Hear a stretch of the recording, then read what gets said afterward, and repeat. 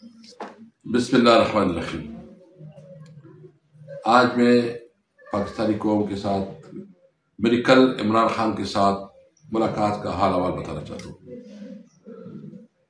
مجھے بہت خوشی ہے کہ کل آپ کے لیڈر عمران خان کے ساتھ ملاقات ہوئی اور وہاں ہم نے مجھے یہ بھی خوشی ہے کہ الحمدللہ عمران خان جو ہے نا پوری طرح سے اطلاع ہے اور اچھے اسپرٹ پہ ہیں عمران خان جیسے ہی اندر ہوئے تو سب سے پہلے تو بہت خوش ہوئی اور انہوں نے بتایا کہ آپ لوگ کیسے آئے؟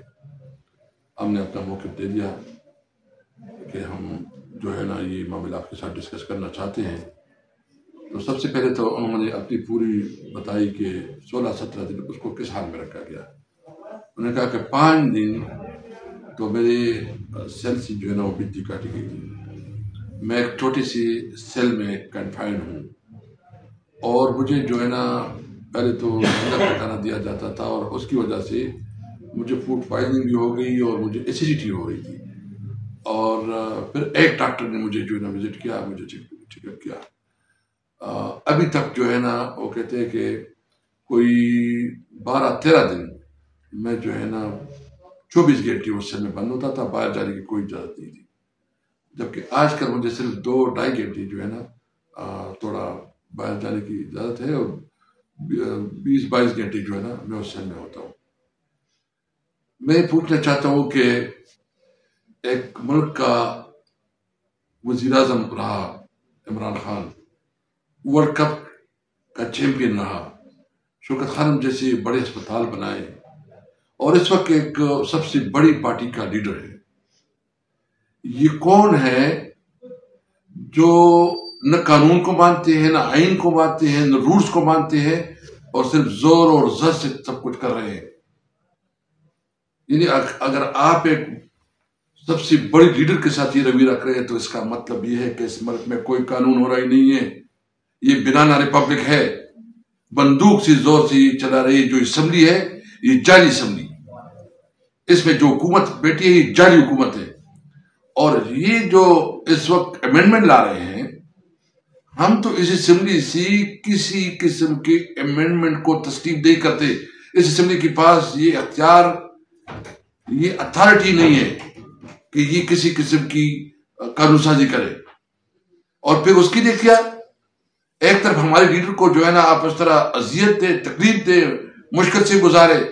اور پھر دوسری طرف آپ جو ہے نا، ادھر پورے، ہمارے ایم این ایس کو اغوا کرے، کسی کی بیوی کو اغوا کرے شامد قریشی صاحب کی بہو کو اغوا کیا گیا۔ ہمارے عادل بازائی کی گھر جو ہے نا، اس کے گھر کو جو ہے نا مسبار کیا جا رہا تھا۔ اس طریقے سے قانون سازی ہوگی۔ پھر آپ جو ہے نا اربوں روپے لوگوں کو آفر کرے اور پھر کہتے ہیں کہ جی آئے یہ جمہوریت ہے اور ہم نے قانون سازی کرے لانت ہو تمہارے جمہوریت پہ اور تمہارے اس قانون سازی پہ۔ ہم کسی طور پر اس قانون سازی کو ہم اسمبلی کی فلور میں بھی اپنا موقف دیں گے اور ہم کسی طرح جو ہے نا اس رویے کی جو ہے نا مذمت کرتے ہیں۔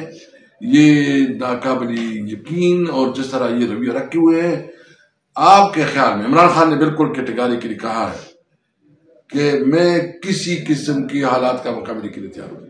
یہ جو کچھ کرنا چاہتے ہیں، کریں۔ انہوں نے کہا کہ میری قوم کو میسج دے کہ نمبر ون آپ لوگ اپنے ملک کو آئین کی بالدستی اور قانون کی حکمرانی کے لیے اپنے آپ کو تیار کریں۔ انہوں نے کہا کہ میں کسی طرح کمپرومائز نہیں کروں گا۔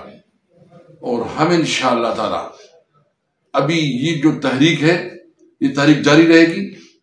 ہم تمام سیاسی پارٹیوں سے، وہ پارلیمنٹ میں پارلیمنٹ سے باہر ہے ہم وہ کلا برادری سے سب سے ریکویسٹ کرتے ہیں، آپ نے اس فاشس حکومت کے خلاف اور ملک میں آئین اور قانون کے حکمرانی کے لیے نکلنا ہے۔